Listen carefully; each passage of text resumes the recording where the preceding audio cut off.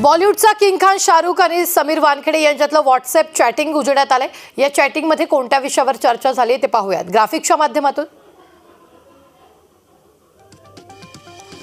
शाहरुख खान कृपया मला कॉल कर आर्यन खानचा वडील म्हणून मी तुझ्याशी बोलतोय असं त्यांनी सम समीर वानखेडे यांना मेसेज केला.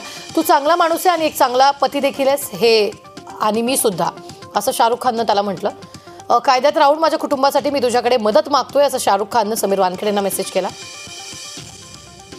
मी तुझ्याकडे भीक मागतोय माझ्या मुलाला जेलमध्ये जाऊ देऊ नको. अशा पद्धतीचा मेसेज शाहरुखनं समीर वानखेडेंना केला. जेलमध्ये गेल्यानं माणूस खचून जातो. तू मला प्रॉमिस केले माझ्या मुलाला बदलून टाकशील. असं यावेळी शाहरुख खाननं समीर वानखेडेला म्हटलं. माझ्या आणि माझ्या परिवारावर दया कर असं देखील शाहरुखनं म्हटलं मेसेजमध्ये माझ्या मुलाला घरी पाठव मी तुझ्याकडे वडील म्हणून भीक मागतोय. अशा पद्धतीची याचिका जी आहे ती शाहरुख खान समीर वानखेडे समोर करत होता.